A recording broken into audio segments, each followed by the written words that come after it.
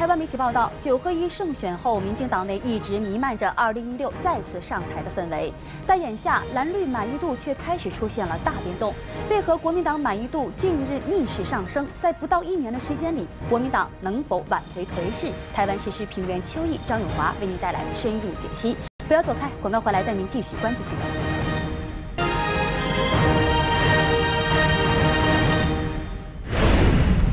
各位继续收看由盼盼食品独家剧名播出的东南卫视海峡新干线。我们再来关注台湾岛内的消息。据台湾媒体报道，九合一胜选之后，民进党内一直弥漫着2016再次上台的氛围，但眼下蓝绿满意度却开始出现了大的变动，呈现了绿降蓝升的态势，相当令人玩味。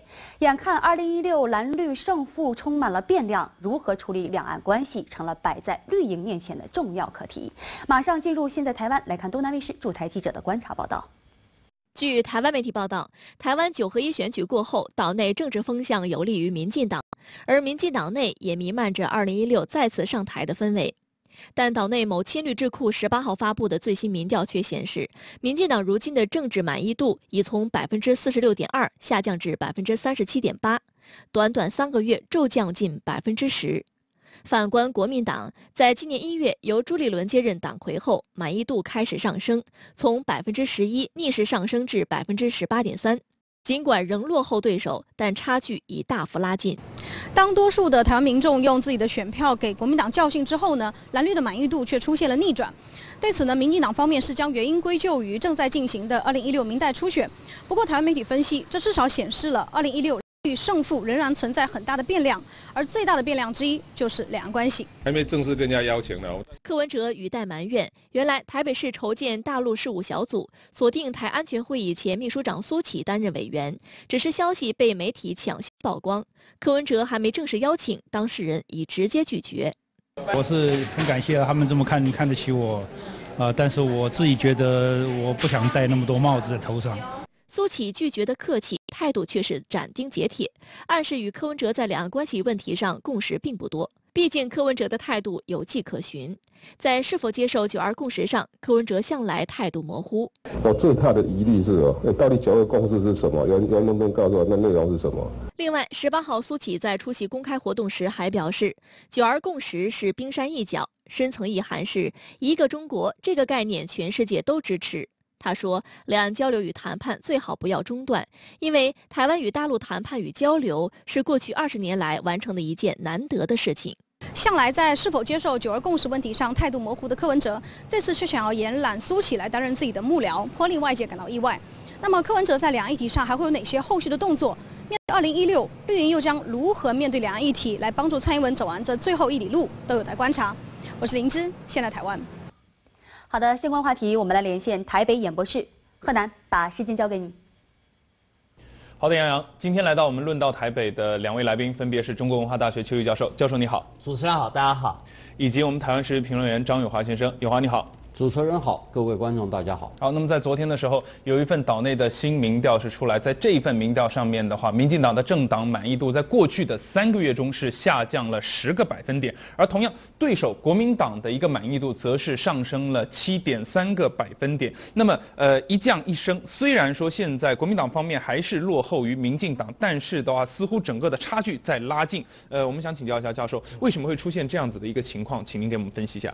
这一次国民党的回升，民进党满意度的下降，并不是因为国民党革新改革表现有所作为，让台湾人民满意所造成的，它是民进党自己所形成的。我把它整理一下，大概就三个弱点吧。第一个就是，民进党到目前为止对两岸政策。他仍然没有一个清楚的说辞，所以会让大家觉得说，如果一旦民进党执政以后，那台湾两岸两岸的关系何去何从呢？台湾未来的经济竞争力怎么办呢？这第一个质疑。那第二个质疑。就是前一阵子徐家清爆料之后，大家赫然发现，民进党面对陈水扁贪腐的包袱是没有能力处理的，而蔡英文面对陈水扁扁系的压力，蔡英文是低头是屈服的，是向贪腐拥抱贪腐的，是跟所谓的正义呢是切割的，所以。这个也是造成民进党满意度会下跌。第三个，也就是民进党发言人郑运鹏说的，民进党正在初选的阶段，而在初选发现民进党出现了很多。十八号，庆祝克里米亚脱欧入俄的“我们在一起”音乐会在克里姆林宫附近的瓦西里斜坡举行，吸引超过十万俄罗斯民众参加。普京也现身音乐会并发表讲话，他表示。俄罗斯将巩固自己国家体制，外部势力为俄罗斯的生活制造麻烦是徒劳无益的。Мы будем укреплять нашу государственность, укреплять нашу страну. Мы будем преодолевать трудности, которые мы с вами так легко создаем сами для себя в течение всего последнего времени. 普京不仅与女歌手一同高歌，还不忘对音乐会现场的人们表示感谢，并高呼“俄罗斯万岁”。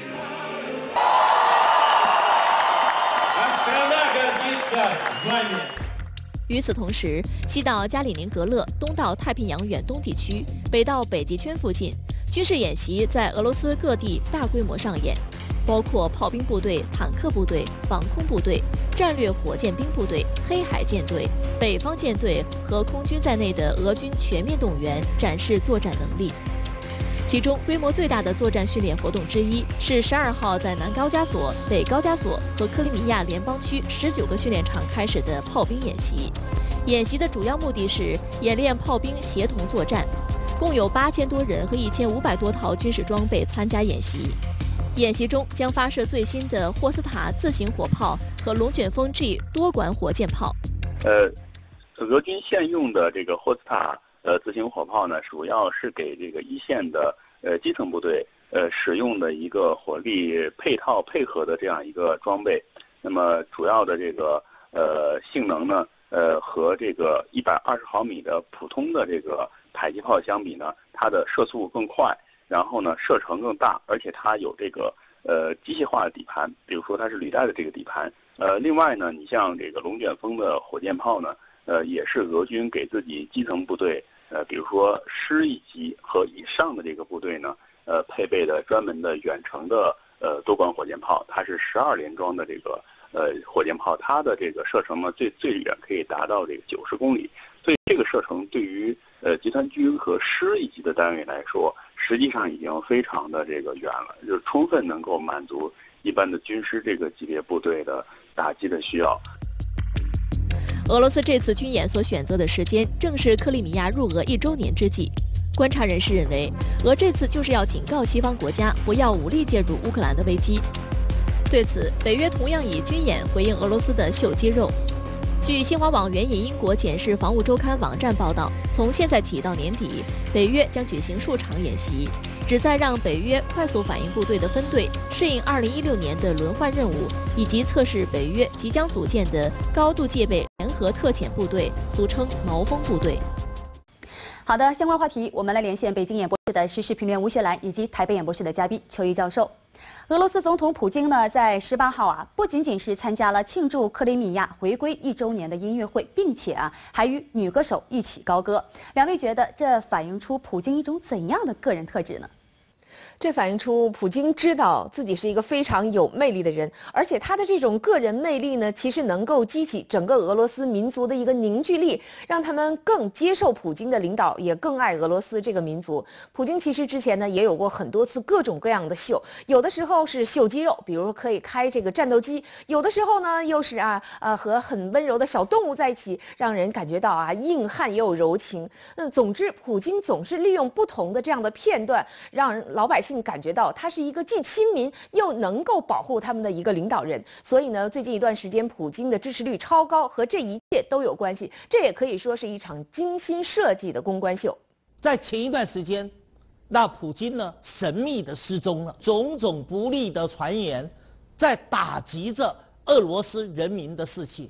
所以，透过了在克里姆林宫的旁边办个大型的音乐会，而普京在上面现身高歌，其实也是一种那么粉碎不利谣言的一种做法。所以，普京用这样的一个音乐会传递了非常强烈的政治的语言，所以我才说他真的是一个深谙政治表演艺术的政治人物。据报道啊，近日俄罗斯呢是投入了大量的兵力来进行军演，并且呢，此次军演的范围几乎是覆盖了俄罗斯的全境。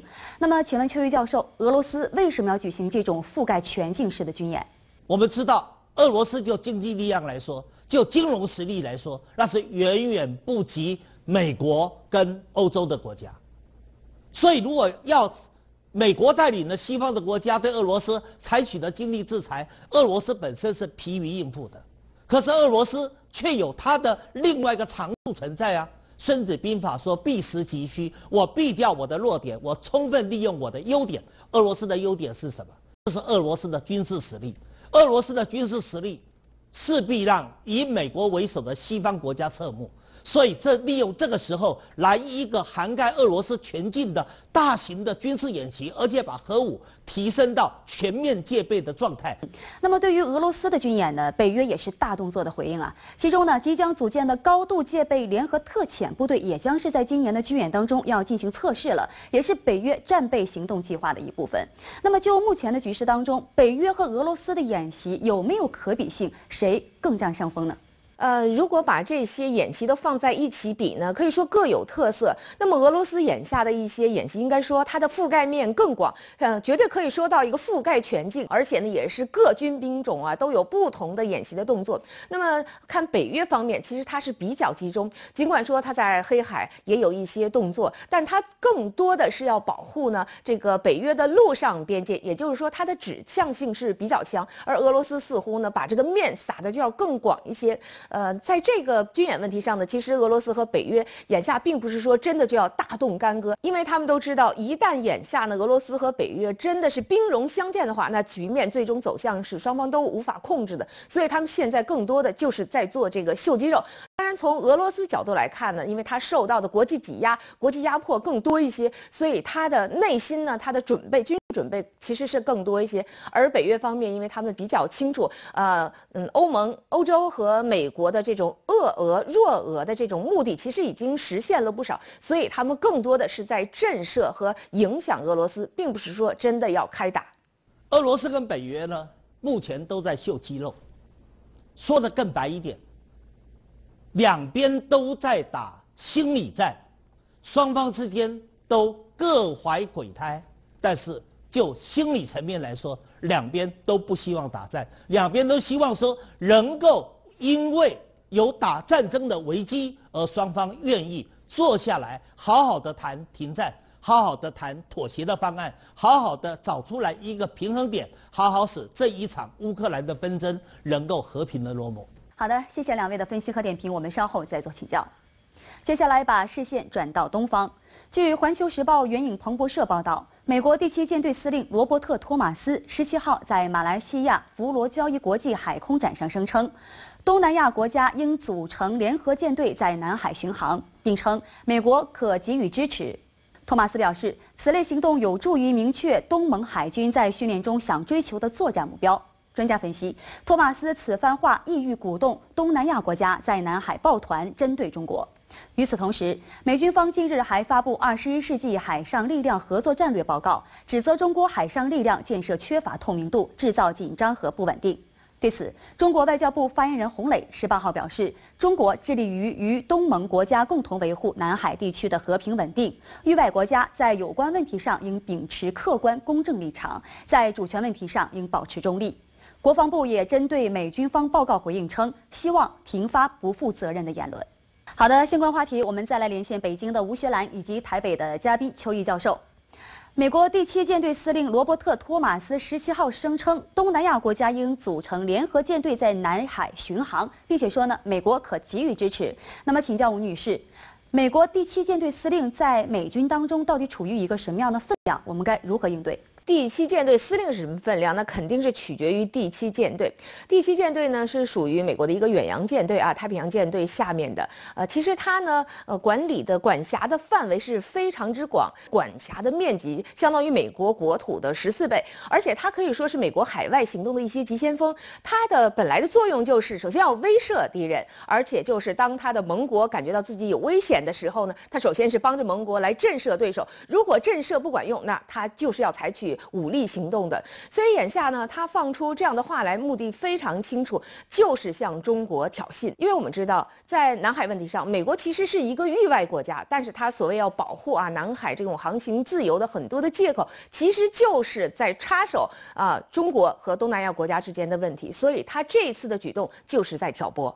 我们过去都说哈，美国对于整个南海的战略，美国是躲在幕后的，美国只是闪动在台面上的越南呐、菲律宾呐，那对中国进行骚扰，以发挥遏制中国大陆的效果。但是呢，美国第七舰队司令托马斯的这一番话，其实已经使美国由一个躲在幕后、在台面下的闪动者。一跃而成为台面上的主导者。嗯，那么吴女士，您认为美国第七舰队司令提出的所谓组建东南亚国家联合舰队有没有这个可能？我觉得这种可能性呢，并不是很高。尽管现在啊，菲律宾已经表态说很乐意听到托马斯这样讲，似乎是挺高兴的。但是如果这一届真的落到实处的时候，我相信东南亚各国他们的心里都要打一打算盘，因为现在东南亚各国和中国之间的经济贸易联系是相当的密切。如果说因为托马斯忽悠了这么一句，因为他说的可是你们东盟国家先上，必要的时候啊，美国的第七舰队会给予支持。如果最后第七舰队真的事儿来了，他不管你怎么办呢？是吧？这种情况下，在美国没有真的拿出一个很实际的军事的援助方案的情况下，东盟国家会轻率的先和中国来破坏已经比较好的经济贸易联系吗？在美国只有一个所谓口惠实不至这样的啊忽悠抛出来的情况下，东南亚是不是要任性的、要冒险的就和中国搞坏关系，建这样一个舰队呢？我觉得他们一定会在关键的时候冷静的思考的。好的，谢谢两位的分析和点评。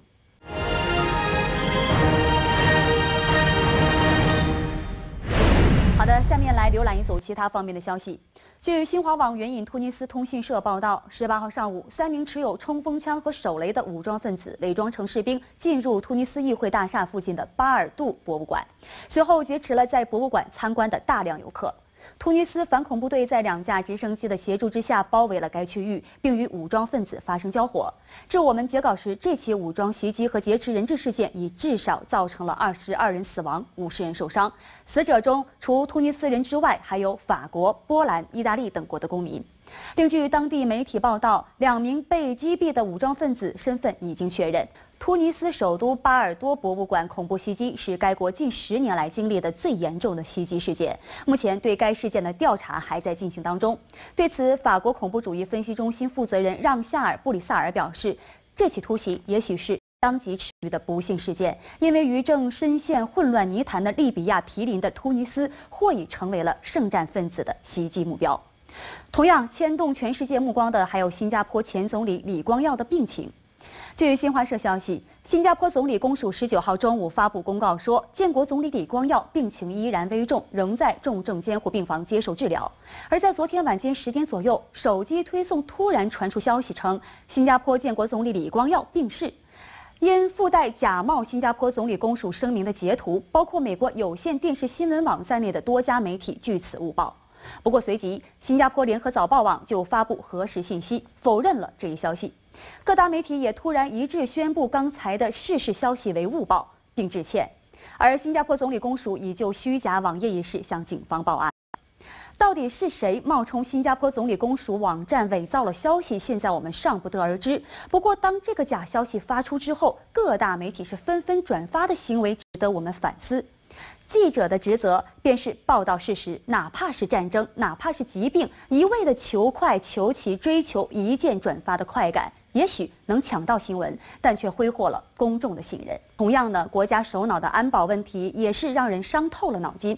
美国特勤局局长约瑟夫·克兰西十七号在出席众议院拨款委员会主持的一场听证会上表示，特勤局训练设施的落后直接影响到了特工的训练质量和工作表现。他呼吁国会方面为该部门专门拨款建造一个模拟白宫，以提升特勤局特工人员的日常训练水平，为白宫方面提供更好的保护。美国白宫近期连续两度的遭遇闯宫者，又爆发了醉驾特工误闯拆弹现场的醉酒门，引发了民众对美国特勤局能力的质疑。我们先不说建一个山寨的白宫是否有用，作为美国安保机构的百年老店，如何经营下去并重获信任，可不仅仅是面子问题，也得适时的好好梳理一下里子了。到底是风气不够正呢，还是技术不过硬呢？在这方面，美国特勤局可要下一番苦功喽。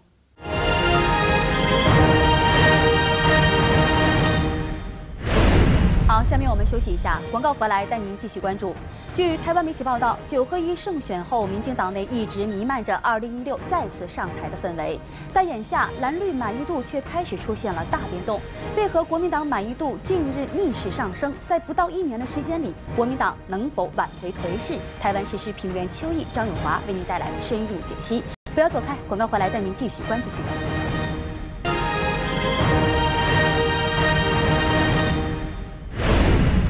para 各位继续收看由盼盼食品独家剧名播出的东南卫视海峡新干线。我们再来关注台湾岛内的消息。据台湾媒体报道，九合一胜选之后，民进党内一直弥漫着2016再次上台的氛围，但眼下蓝绿满意度却开始出现了大的变动，呈现了绿降蓝升的态势，相当令人玩味。眼看2016蓝绿胜负充满了变量，如何处理两岸关系成了摆在绿营面前的重要课题。马上进入现在台湾来看东南卫视驻台记者。的观察报道。据台湾媒体报道，台湾九合一选举过后，岛内政治风向有利于民进党，而民进党内也弥漫着2016再次上台的氛围。但岛内某亲绿智库十八号发布的最新民调却显示，民进党如今的政治满意度已从百分之四十六点二下降至百分之三十七点八，短短三个月骤降近百分之十。反观国民党，在今年一月由朱立伦接任党魁后，满意度开始上升，从百分之十一逆势上升至百分之十八点三。尽管仍落后对手，但差距已大幅拉近。当多数的台湾民众用自己的选票给国民党教训之后呢，蓝绿的满意度却出现了逆转。对此呢，民进党方面是将原因归咎于正在进行的二零一六明代初选。不过，台湾媒体分析，这至少显示了二零一六。与胜负仍然存在很大的变量，而最大的变量之一就是两岸关系。还没正式跟人家邀请呢。柯文哲语带埋怨，原来台北市筹建大陆事务小组，锁定台安全会议前秘书长苏启担任委员，只是消息被媒体抢先曝光，柯文哲还没正式邀请，当事人已直接拒绝。我是很感谢他们这么看看得起我，呃，但是我自己觉得我不想戴那么多帽子在头上。苏启拒绝的客气，态度却是斩钉截铁，暗示与柯文哲在两岸关系问题上共识并不多。毕竟柯文哲的态度有迹可循，在是否接受九二共识上，柯文哲向来态度模糊。我最大的疑虑是哦，到底九二共识是什么？能不能告诉我那内容是什么？另外，十八号苏启在出席公开活动时还表示，九二共识是冰山一角，深层意涵是一个中国这个概念，全世界都支持。他说，两岸交流与谈判最好不要中断，因为台湾与大陆谈判与交流是过去二十年来完成的一件难得的事情。向来在是否接受九二共识问题上态度模糊的柯文哲，这次却想要延揽苏起来担任自己的幕僚，颇令外界感到意外。那么，柯文哲在两岸议题上还会有哪些后续的动作？面对二零一六，绿营又将如何面对两岸议题来帮助蔡英文走完这最后一里路，都有待观察。我是林芝，现在台湾。好的，相关话题我们来连线台北演播室，贺楠，把时间交给你。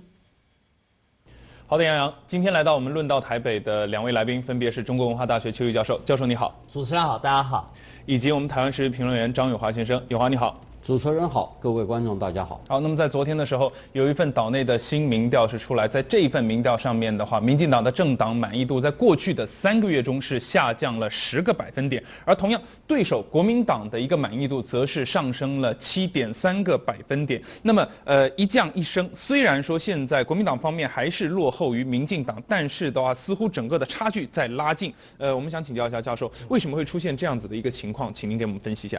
这一次国民党的回升，民进党满意度的下降，并不是因为国民党革新改革表现有所作为，让台湾人民满意所造成的，它是民进党自己所形成的。我把它整理一下，大概就三个弱点吧。第一个就是，民进党到目前为止对两岸政策他仍然没有一个清楚的说辞，所以会让大家觉得说，如果一旦民进党执政以后，那台湾两岸两岸的关系何去何从呢？台湾未来的经济竞争力怎么办呢？这第一个质疑。那第二个质疑就是前一阵子徐家清爆料之后，大家赫然发现，民进党面对陈水扁贪腐的包袱是没有能力处理的，而蔡英文面对陈水扁扁系的压力，蔡英文是低头是屈服的，是向贪腐拥抱贪腐的，是跟所谓的正义呢是切割的，所以。这个也是造成民进党满意度会下跌。第三个，也就是民进党发言人郑运鹏说的，民进党正在初选的阶段，而在初选发现，民进党出现了很多正二代啦、绿二代啦，所谓的政治家族啦，可能比过去他们批评的连胜文还要来得更严重。所以这些初选里面所展现出来的未得到权力、不择手段的一些做法，当然会让选民反感。我认为是民进党表现的不好，使得国民党升，民进党降。那其实呃，通过这一份的民调，其实我们可以看得出来，现在也有一些评论认为说，当下民进党跟国民党之间、蓝绿之间，它的一些呃结论还不是一个定数，可以说还有一些时间。那么可能接下来还有一些的变化。那对于这种说法，我们想请教有华，您赞同吗？您认为说接下来蓝绿之间在二零一六的时候最大的变数有可能是什么？其实蓝绿之间，它最大的变数，我们看法还是在蔡英文这一块。它的变数那是什么？各位要知道，今年到明年是大选。好，你大选的话，各位去看看，民进党的地方民代是不是吃相难看？我去年选完了，今年我还要选，其他人不准选，其他人选选的话。他们就用派系的方式去压迫对方，你不准出来，就是说我们讲吃相难看。第二个，我们看现在民进党的派系中的审核，两系独大，一一个是独派的，一个是新潮流的。那换句话说，对于所谓的书系、游戏，还有包含美丽岛系跟民进党其他派系的，居然什么位置他都分不到。在这种情况之下。这个是对蔡英文来讲是一个变数。然后第三个就是我们必须要看蔡英文如果面对国民党的候选人，你要看他是谁。如果国民党能够出其不意的你提出一个声望够也威望够的话，蔡英文还不见得胜利。所以三个变数的存在就决定了二零一六。我认为民进党在跟国民党这一场选战有很重要的变数。四月十五号，民进党会出正式提名蔡英文做民进党一六年的候选人。好，那民进党也会整合出来他的两岸政策。我估计了，就是过去的台湾共识加上三个有利、三个坚持，就这样嘛。可是他能够取代九二共识吗？当然不能嘛。所以，当这样的一个处理两岸政策上不成熟的做法，笃定会使台湾很多的有头脑的选民产生质疑嘛？那第二个现现象，也就是陈水扁的贪腐力量究竟会发挥多大的影响力？另外的，刚才有华提到的派系的整合能不能成功？好，那么在现在民进党里面，很多的派系觉得说已经赢了，所以现在准备分蛋糕了。所以现在派系之间可以说是刀光剑影，可以杀得刀刀见血。好，那另外一个因素就国民党自己了。国民党能不能整合出来一个对胜选有利的一个组合？朱立伦、王金平、吴敦义能不能做一个组合？那甚至能不能把离开国民党的宋楚瑜再拉回来，使得形成一个泛蓝的大团结？那如果是这样的话，那当然。国民党仍然有它的胜算存在，所以我我认为离虽然离一六年的大选到现在只有差不多十个月的时间，但是中间的变化仍然非常的多，只能用四个字形容：胜负难料。好的，感谢两位来宾的分析点评。那么在说完蓝绿之间的一些状况和算计以后，那么其实台北市长柯文哲最近在两岸政策上面也有一些动作。一段广告之后，我们马上回来为您解读。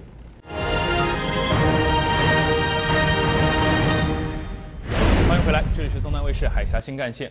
接下来我们来谈一下关于台北市长柯文哲。柯文哲近来是打算成立一个台北市的两岸工作小组，并且一度是希望说，呃，能够邀请台安全会议的前秘书长苏启能够加入到其中。但是我们会注意到，苏启随后就很快的在媒体上进行了拒绝明确的表态。教授，您来为我们解读一下，为什么说苏启会拒绝柯文哲的邀请？若苏启真的愿意加入的话，那苏启就是个笨蛋。苏启是我好朋友，他不可能是个笨笨蛋。他如果是个笨蛋，我就不跟他做朋友了，就割席绝交了。苏启怎么会加入笨到加入柯文哲这个两岸小组呢？柯文哲，柯文哲要用一五共识，是要取代九二共识，其实就跟蔡英文想用台湾共识要取代九二共识一样嘛。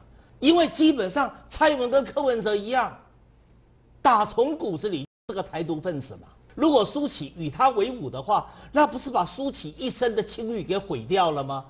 所以苏启难道不能识破柯文哲就是想拿苏启来作为他台独的调味品吗？难道苏启这么笨吗？苏启真的愿意让他做枪使吗？所以苏启当然会拒绝。如果苏启不拒绝的话，那基本上苏启现在在主导的台北论坛，我看就维持不下去了。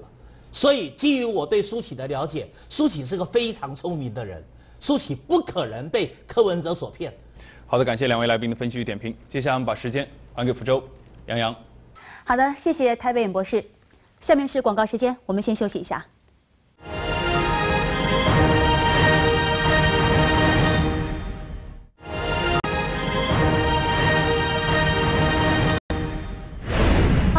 花季日前正式的展开了，今年的花期不但将会延长半个月，花朵也会更加的漂亮。